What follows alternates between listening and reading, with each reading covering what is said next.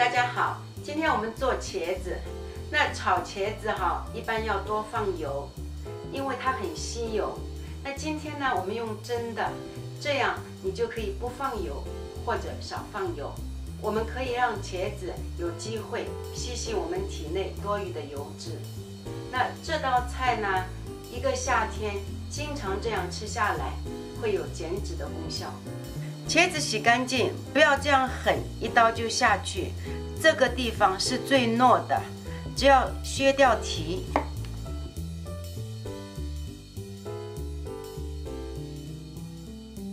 留下这一段可以吃上两小口。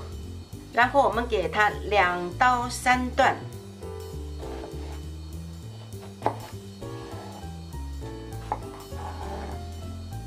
切好后。放进醋水里或者盐水里泡一下。那泡醋水和盐水哈，主要是为了它不快速的氧化。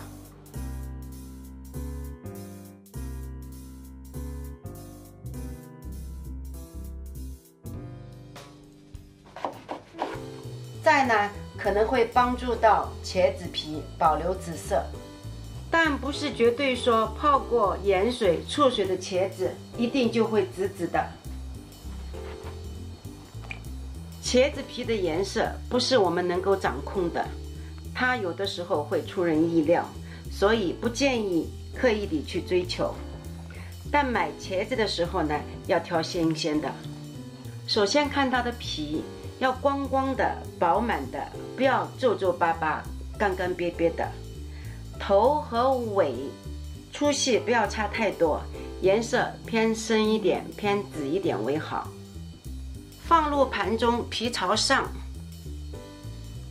其实哈，你平时切好就上锅蒸的话呢，泡水这一步都可以省掉。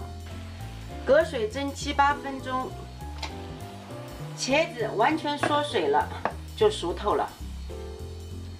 时间到，马上取出待凉。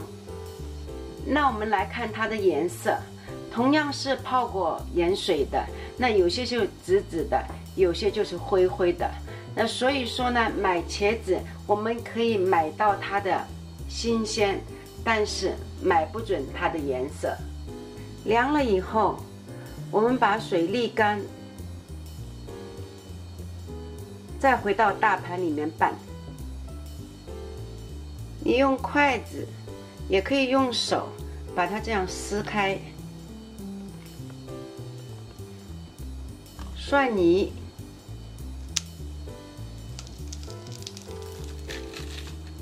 盐、糖、少许生抽、醋。麻油，如果你喜欢辣，可以放辣油。你可以尝尝味道，自己再调整一下。那这是一道非常健康、开胃，而且做起来非常快捷、简便的一道菜。希望大家喜欢，我们下次再见，拜拜。